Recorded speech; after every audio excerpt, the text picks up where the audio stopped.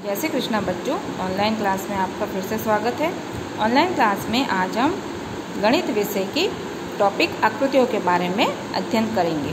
आकृतियाँ बहुत तरह की होती है, मगर हम कुछ खास आकृतियों के बारे में पढ़ेंगे जो हमारे चारों ओर रोज़ाना में दिखाई देती है ना? जैसे वृत्ताकार, वर्गाकार, आयताकार, त्रिभुज और अंडाकार। ठीक है? तो इन आकृतियों के बारे में आज हम पढ़ेंगे।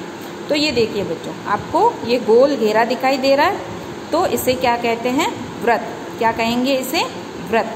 तो ये कैसी आकृति हो गई? व्रताकार। अब जैसे आपकी मम्मी की बिंदी है, एकदम गोल होती है है ना?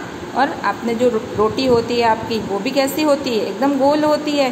तो ये आकृति हो गई व्रताकार या गोलाकार। व्रताकार आकृति कहेंगे इसे? व्रत कहेंगे, ठीक है? फिर ये आकृति है आपकी, ये देखिए, ये आपको लाइनें एकदम बराबर दिखाई दे रही है ना? तो चारों, चार बराबर रेखा से गिरी हुई जो आकृति होती है, वो क्या कहलाती है? वर्ग कहलाती है। क्या कहलाती है? वर्ग। ठीक है? तो ये देखिए, चारों लाइनें ये बराबर है, रेखाएँ, है ना? इसे क्या कहते हैं? ये रेखा कहलाती है। जो लाइन है, ये क्या कहलाती है? रेखा। एक बिंदु से दूसरे बिंदु पे जो खत्म होती है, अनंत तक चलती रहती है, वो क्या कहलाती है? रेखा। इसे हम और लंबी भी कर सकते हैं। तो ये जो चारों लाइन बराबर है तो ये क्या कहलाएगा? वर्ग, ठीक है? फिर अगली आकृति है हमारी आयत, है ना? आयत किसे कहते हैं? तो देखिए, ये जो आमने सामने की जो लाइनें होती हैं, रेखा होती है, वो बराबर होती है आयत की। ये लंबी है, और ये क्या है? अब ये देखिए, आप कहोगे, मैडम, इसमें भी कोने हैं? इसमें भी कोने हैं? तो ये तो है एकदम बराबर आकृति, और ये कैसी है? थोड़ी लंबी है ना? चौड़ाई इसकी कम है, लंबाई ज़्यादा है। चौड़ाई ज़्यादा है और लंबाई इसकी कम है। तो देखिए, आमने सामने की भुजाएँ बराबर हो, वो आकृति क्या कहलाएगी? आयत। फिर देखिए, ये है त्रिभुज। क्या है? त्रिभुज। जो तीन रेखाओं से घिरा हुआ हो गिरी हुई आकृति क्या कहलाएगी? त्रिभुज। इसमें कितनी? देखिए, इसमें चार लाइन है, चार रेखाएँ हैं, इसमें भी चार रेखाएँ हैं और इसमें तीन रेखा है। तो तीन समान रेखाओं से गिरी हुई आकृति क्या कहलाएगी? त्रिभुज। ये वाली ये वाली और ये वाली। तीनों रेखाएँ क्या है? एकदम बराबर है। ये अगर ये छोटी हो गई तो ये आकृति गलत हो जाएगी। अगर इनमें से एक भी लाइन छोटी बड़ी हुई तो ये आकृति गलत हो जाएगी। तो त्रिभुज की तीनों समान आकृति होती है और तीन रेखाओं से गिरी हुई आकृति क्या कहलाएगी? त्रिभुज।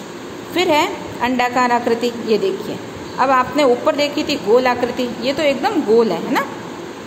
और ये थोड़ी लंबाई में गोल है। तो ये हो गई अंडाकार अंडा देखा है आपने? अंडा ऐसा ही होता है है ना? तो ये हो गई अंडाकार आकृति।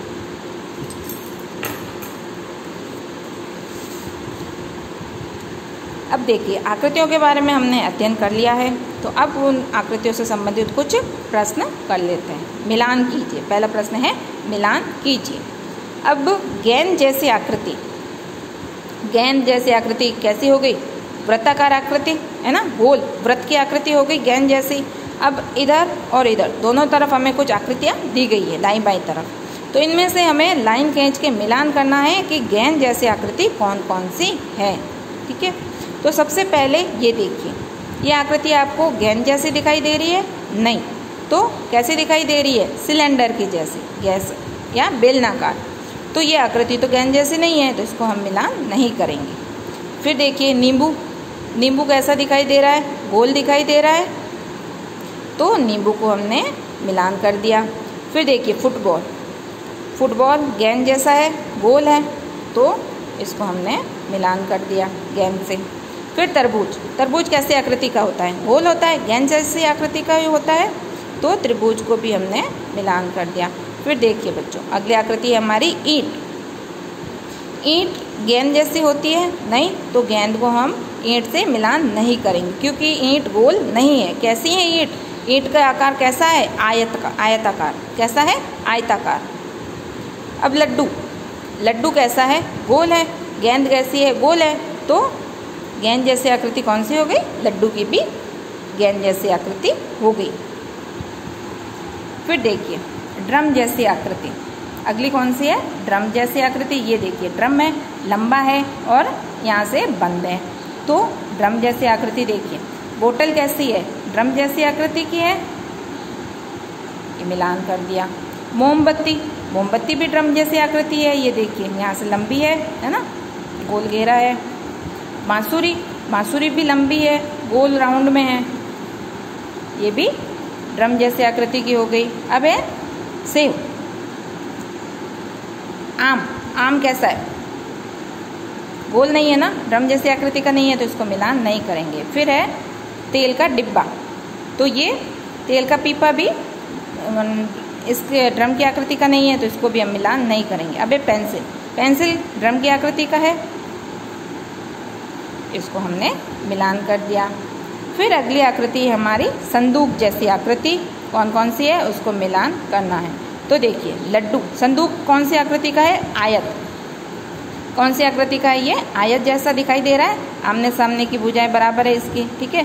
तो संदूक जैसी आकृति की इसमें से कौन से चित्र है? मिलान करना है। लड्डू लड्डू तो कैसा है? गोल है। तो गोल लड्डू को तो हम इससे नहीं मिलान करेंगे। फिर देखिए, ये भी एक संदूक ही है तो दूसरा संदूक से मिलान कर देते हैं इसको। संदूक जैसी आकृति है। फिर है माचिस। माचिस भी कैसा है? संदूक जैसी आकृति की है। मिलान कर लिया। अब ईंट ईंट की भी देखो, ये आमने सामने की बुझाएँ बराबर है, ठीक है? तो संदूक की आकृति की हो गई ईंट। अब तेल का डिब्बा, तेल का डिब्बा भी ईंट की आकृति का ही है। फिर एक गेंद गेंद संदूक की आकृति की नहीं है तो गेंद को हम संदूक की आकृति से मिलान नहीं करेंगे।